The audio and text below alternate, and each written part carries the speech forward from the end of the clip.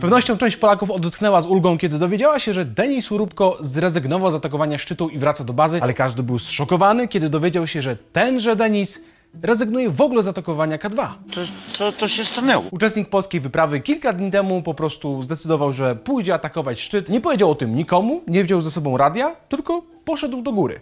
Jego zdaniem zima w Karakorum kończy się wraz z końcem lutego i chciał zostać pierwszym zdobywcą K2 zimą, a zdaniem kierownika wyprawy Krzysztofa Wielckiego spinacze mają czas jeszcze do końca marca. Czy to doprawdy tak trudne ustalić, kiedy kończy się zima? Zapewne jednak, kiedy wspinacz był już wysoko w górze, stwierdził, że warunki są niesprzyjające i że ta misja samobójcza powinna się zakończyć, więc wrócił do obozu, gdzie czekali na niego Polacy. Domyślam się, że spotkanie Urubki z członkami wyprawy nie należało do najprzyjemniejszych. Panowie z pewnością powiedzieli sobie kilka męskich słów No po prostu no nie! Boże, czy ty to widzisz? i członkowie wyprawy stwierdzili, że nie widzą dalszej możliwości współpracy z Urubką po tym, jak solowo zaatakował szczyt, a Urubko powiedział, że jego zdaniem cały czas zima kończy się w lutym i postanowił wrócić do domu. No i jeszcze jeden fakt. Co by było, gdyby Denis Urubko zdobył szczyt K2? Któremu krajowi przypisany byłby ten sukces? Ponieważ sam wspinacz, oprócz tego, że ma paszport polski, ma również kazachski i rosyjski. Przeciwnicy globalnego ocieplenia otwierają szampany i mówią, a nie mówiłem?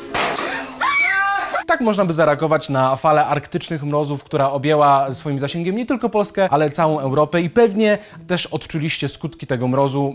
Moja broda również, jak widać na załączonym obrazku. Okazuje się, że sytuacja jest bardzo skomplikowana i nie powinno się tak łatwo wyciągać tak dalece idących wniosków, bo jeśli spojrzy się na ten problem holistycznie, to okazuje się, że wczoraj na biegunie północnym temperatura była wyższa niż w Warszawie. Mało tego, temperatura na biegunie północnym była dodatnia. Co prawda 30 stopni Celsjusza, ale zawsze. Stan pokrywy lodowej w rejonie bieguna północnego jest grubości porównywalnej z tą, którą z reguły odczytujemy w maju, a przypomnę, że mamy jeszcze luty. Wobec tych wszystkich martwiących doniesień całą sytuację komplikuje fakt, że prezydent Stanów Zjednoczonych Donald Trump ogłosił, że nie będzie respektował postanowień porozumienia klimatycznego. A dlaczego jest to dla nas zła wiadomość? Porozumienie klimatyczne zwane paryskim zostało podpisane przez 195 krajów naszej planety, które to zobligowały się, że dołożą wszelkich starań, aby nie pogłębić skutków zmian klimatu na naszej planecie.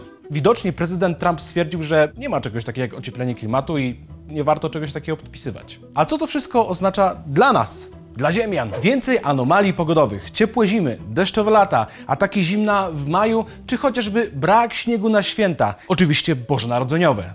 Już prędzej spodziewajcie się śniegu w Wielkanoc.